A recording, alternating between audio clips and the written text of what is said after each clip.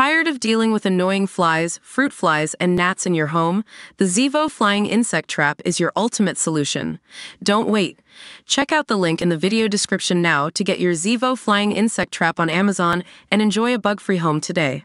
EastEnders star Tracy-Ann Oberman's brutal swipe at the soap has resurfaced, following the news that she will be making a surprise return later this year. The actress, 57, is set to reprise her role as Chrissie Watts for a short stint this autumn nearly two decades after her last appearance. However, while bosses have no doubt welcomed Tracy-Ann back to the soap with open arms, the actress previously slamming the show's grueling schedules and demanding storylines after her exit. Tracy-Ann also questioned the wild storylines bosses penned for her character, who famously murdered her father Dirty Den Watts.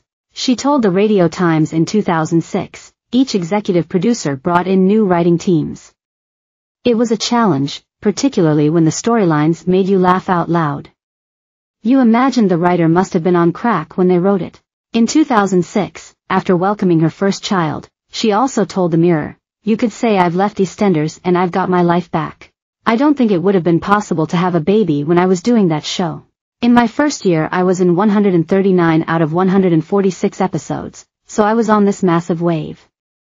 A coterie of others were working just as hard, Jessie Wallace, Shane Richie, Nigel Harman, and we all walked around looking ashen-faced. Mail Online has contacted a representative for EastEnders for comment.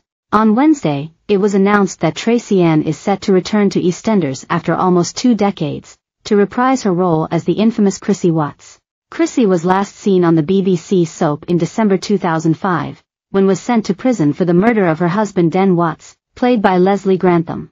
She had first joined the soap in April 2004 and quickly became a prominent figure and racking up a huge list of enemies, including Kate Mitchell, Jill Halfpenny, and Cat Slater, Jessie Wallace. But her biggest storyline saw her bludgeon a Dirty Den to death in self-defense in the show's special 20th anniversary episode.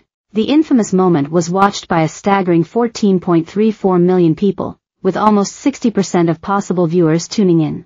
Alongside Sam Mitchell, Kim Medcalf, and Zoe Slater, Michelle Ryan, Chrissie attempted to cover up the murder, burying Den under the floor of the Vic Barrel store. She managed to get away with her crime for months, living with Den's beloved adoptive daughter, Sharon Watts, Letitia Dean, and his son Dennis Rickman, Nigel Harman. But when Sam drunkenly dug up the body, she was held responsible for the murder until Phil, Steve McFadden, and Grant Mitchell, Ross Kemp, returned to help their sister and uncovered the truth, with Chrissie being sent to prison.